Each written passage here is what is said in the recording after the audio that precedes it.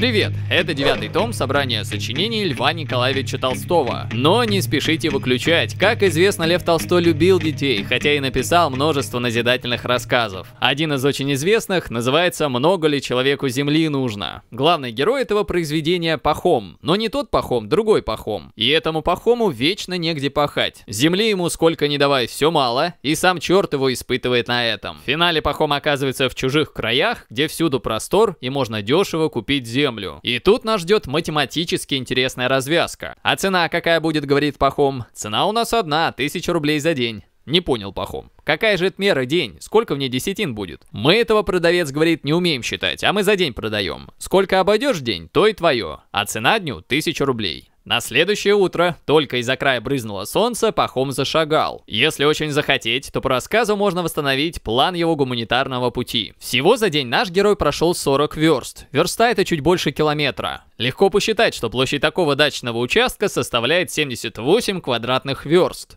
Хм, а можно было бы ту же площадь заполучить меньшими усилиями? Ну, конечно, да. Посмотрите на картинку. Зеленые треугольники одинаковы, а отрезок МЛ короче, чем АБ. Значит, такой путь был бы оптимальней. Хорошо, а если оставить 40 верст в покое и постараться получить наибольшую площадь? Как в этом случае следовало бы шагать по хому? Мы уже поняли, что прямоугольник в этом смысле круче трапеции. Поэтому легко привести пример прямоугольника, у которого площадь будет больше 78, например, 96. А еще в 49 видео мы с вами осознали то, что прямоугольник будет иметь наибольшую площадь при фиксированном периметре, только если он является квадратом. Так что предыдущий рекорд легко побивается квадратом 10 на 10. А можно ли поднять планку еще выше? Вообще-то да, заметьте, что нашему Пахому никто не указывал на четырехугольные формы. Обойди он своими стопами 40 верст правильного шестиугольника, он бы заполучил более 115 квадратных верст земли. Такие вот дела, братишки. Концовку этого видео мы оставим открытой. Вопрос, можно ли еще улучшить этот результат? Если вы не знали готового ответа и хотите блеснуть умом, пишите в комментарии. И в любом случае, мыслите критически, занимайтесь математикой, счастливо!